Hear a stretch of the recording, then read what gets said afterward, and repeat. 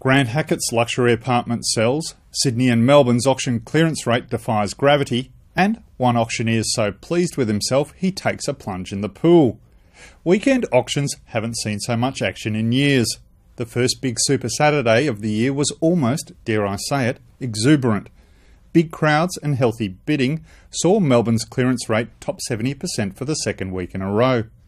Bayside and inner east suburbs, the heart of the auction market, were remarkably strong. There, about 150 homes sold, each for more than $1 million.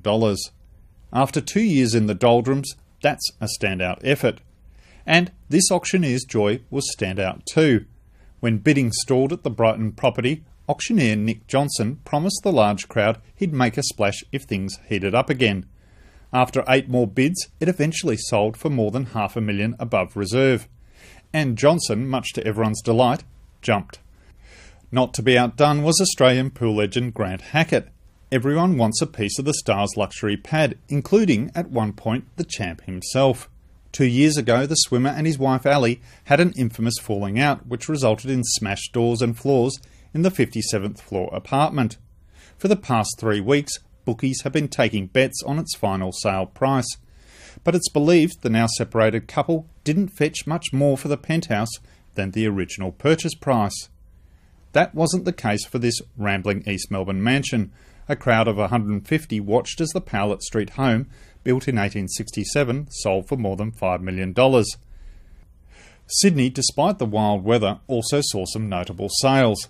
Eight properties went under the hammer for more than $2 million each. The sale of this Vaucluse home suggests pressures building at the once stagnant end of the prestige market, particularly from Chinese buyers. Six bidders battled over its sweeping views of the city, Opera House, Bridge, and Harbour.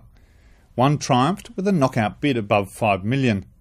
At the other end of the scale was first home buyer Nigel Creighton. A builder by trade, he's been renting for 10 years. This weekend, he was the only bidder at auction, and it gave him the advantage. Nigel snapped up this rundown two bedder in Lewisham, beating down the reserve price by nearly $30,000.